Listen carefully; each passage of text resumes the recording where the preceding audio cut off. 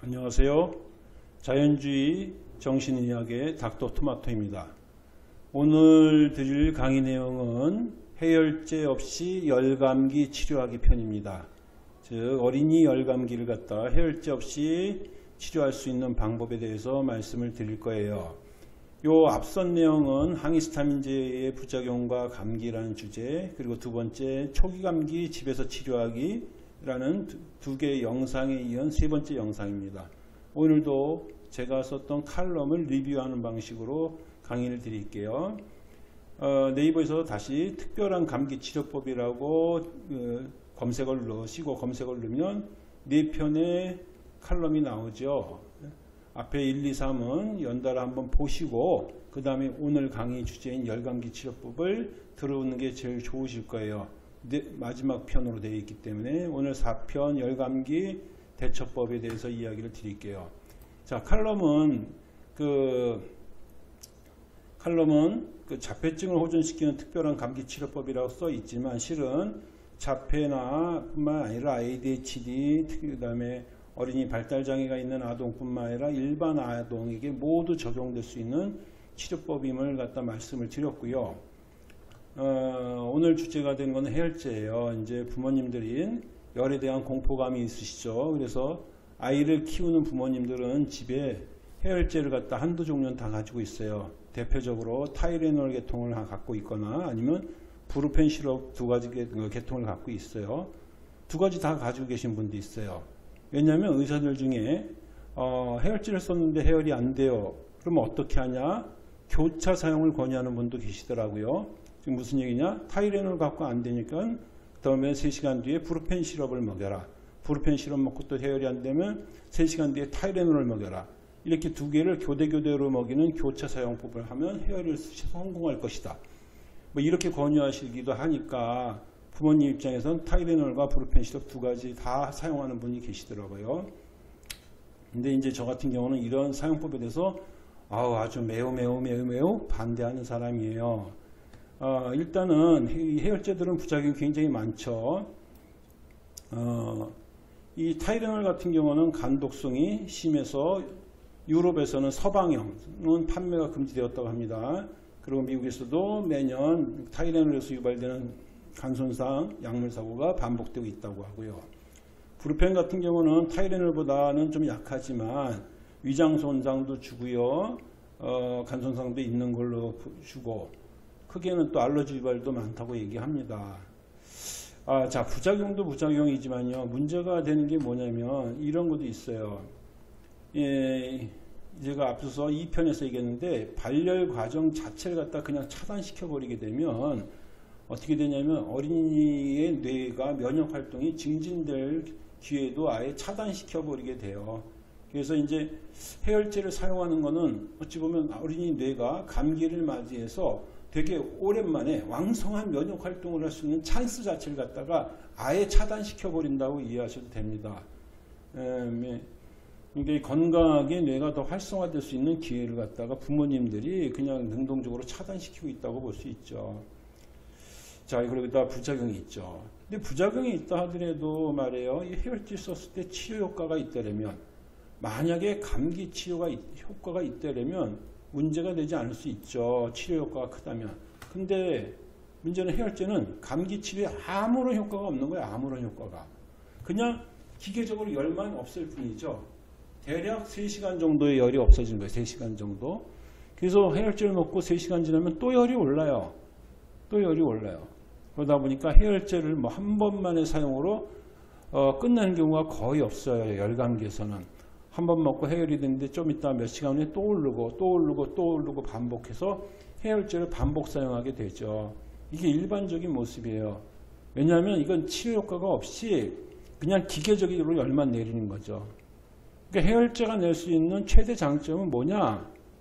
열을 일시적으로 없어서 아이의 고통을 줄이는 게 최대 목표예요.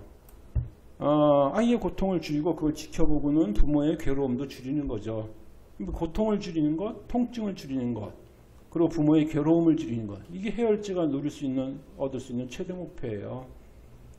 그러면서 의학적인 견지에서 보면 이게 아무런 의학적인 의미가 없는 건데 그래도 그래도 그래도 부모님들한테 필요하죠. 아이가 고통받는 걸 보기 어려우니까 그런 의미에서 어, 부작용 없이 해열시킬 수 있는 방법을 찾아야 돼요. 그리고 해열시킬 수 있는 방법을 가지고 있어야만 아이를 기르는 부모님들이 감기, 특히나 열감기를 컨트롤할 수가 있어요. 그죠?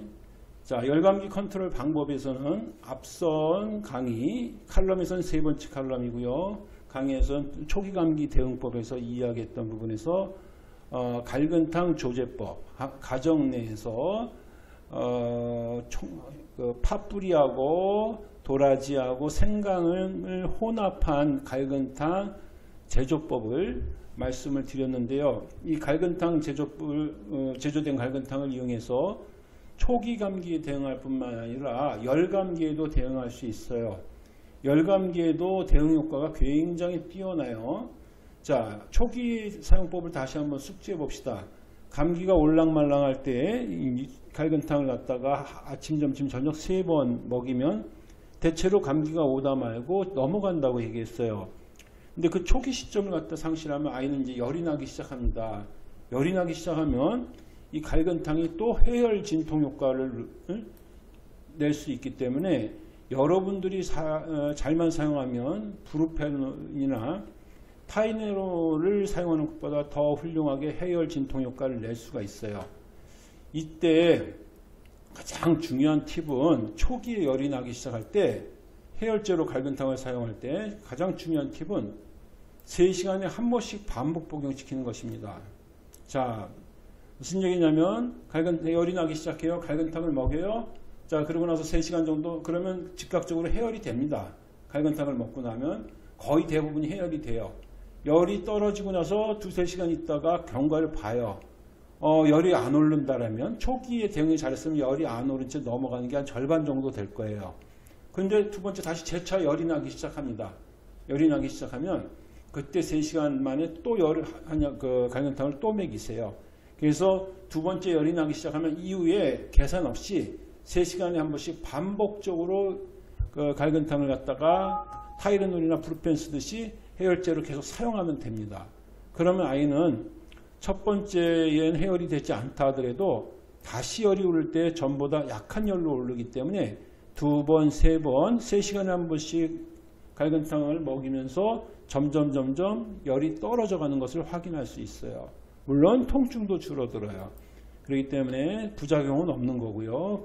그러므로 브루펜이나 타이레놀을 충분히 대체할 수 있는 해열제로 사용될 수 있습니다.